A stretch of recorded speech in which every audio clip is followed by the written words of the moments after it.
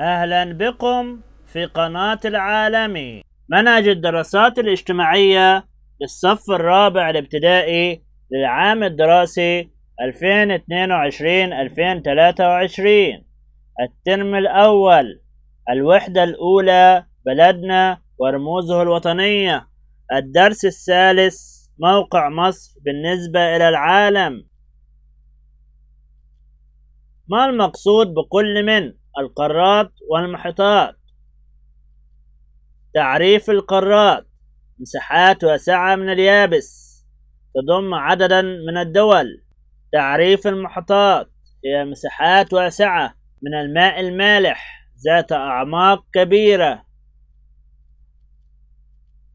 قارات العالم يتكون العالم من سبع قارات. العالم بيتكون من سبع قارات. وتنقسم إلى قسمين قارات العالم القديم وقارات العالم الجديد. قارات العالم القديم بتتكون من من ثلاثة قارات وهي قارة آسيا قارة أفريقيا قارة أوروبا.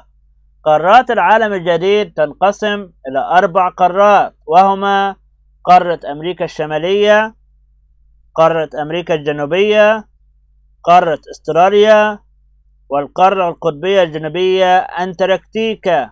زي ما أنتم شايفين على الخريطة القارات الملونة باللون الأخضر دي قارات العالم القديم. أما القارات الملونة باللون الأصفر دي دي قارات العالم الجديد. موقع مصر الجغرافي. تتميز مصر بموقع جغرافي مميز بين دول العالم بسبب موقعها المتميز. اثنين تقع مصر في الركن الشمالي الشرقي لقارة أفريقيا. يبقى مصر بتقع في الركن الشمالي الشرقي اللي هو ده من قارة أفريقيا زي ما أنتم شايفين كده على الخريطة. يحيط بها البحر المتوسط من الشمال والبحر الأحمر من الشرق. مصر يحيط بها بحرين هما البحر المتوسط من الشمال والبحر الأحمر من الشرق. اللي هو ده. أهمية موقع مصر. أشاد العديد من الكتاب والمفكرين ومنهم الجغرافي جمال حمدان بأهمية موقع مصر بين قارات العالم. والموقع مصر أهميته عبر التاريخ. أهمية موقع مصر قديما. إيه هي أهمية موقع مصر قديما؟ واحد ساعد على تسهيل اتصالها بجيرانها تجاريا وحضريا وجعلها معبرا للتجارة بين الشرق آسيا والغرب أوروبا. أهمية مصر قديما ساعدها على تسهيل الاتصال والتواصل بالدول المجاورة تجاريا وحضريا وجعلها معبر للتجار بين الشرق اللي هو قارة آسيا والغرب اللي هي قارة أوروبا. اثنين. نهر النيل له أهمية كبيرة حيث عاش المصري على ضفتيه وتعلم الزراعة واستخدمه كطريق للتجارة بين شمال مصر وجنوبها حتى وسط أفريقيا. نهر النيل ده ليه أهمية كبيرة.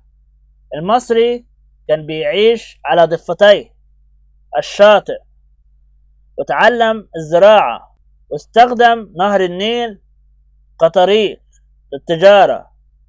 بين شمال مصر وجنوبها حتى دول وسط أفريقيا. أهمية موقع مصر حديثا.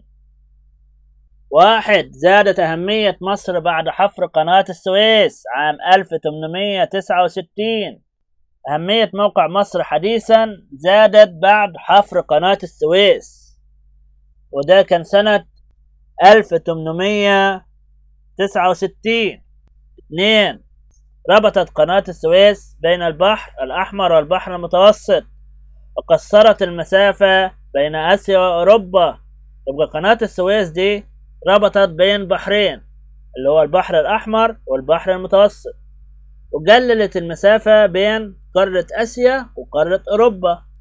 ثلاثة وفرت قناة السويس المال والوقت والجهد. بعد أن كانت السفن تدور حول قارة أفريقيا عن طريق رأس الرجاء الصالح. يبقى قناة السويس دي وفرت المال والوقت والجهد. فكان قديما قبل إنشاء قناة السويس كانت السفن بتدور حول قارة أفريقيا عن طريق رأس الرجاء الصالح. وطبعا ده كان بيستغرق وقت طويل. ولكن بعد إنشاء قناة السويس استطاعت إن هي تقلل الوقت وتقلل الفلوس المال.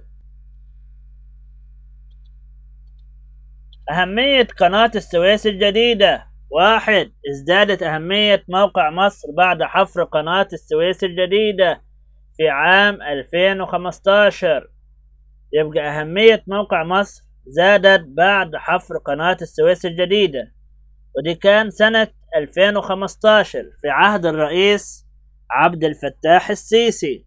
اثنين ساعدت على تقليل زمن مرور السفينة في القناة من 20 ساعة إلى 11 ساعة فقط. قناة السويس الجديدة دي ساعدت على تقليل زمن مرور السفينة. فكان زمن مرور السفينة في قناة السويس القديمة 20 ساعة. وبعد إنشاء قناة السويس الجديدة قل زمن مرور السفينة إلى 11 ساعة فقط. ثلاثة ساعدت على استيعاب سفن أكبر حجما وحمولة والسماح بمرور السفن في الاتجاهين.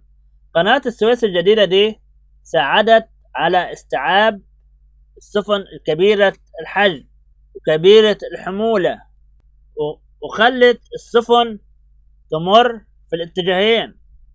والخريطة اللي قدامنا دي بتبين عشان السفينة تمر.